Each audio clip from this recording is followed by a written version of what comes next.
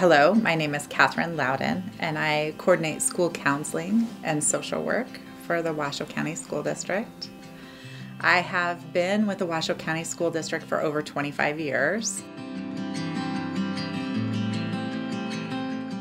We saw some increases in students' thoughts and feelings around anxiety, anxiety over schoolwork, anxiety and grief and loss and depression uh, around missed opportunities, access, loss of expectations that they had in place, things that were rituals or were supposed to be this way or were supposed to feel this way.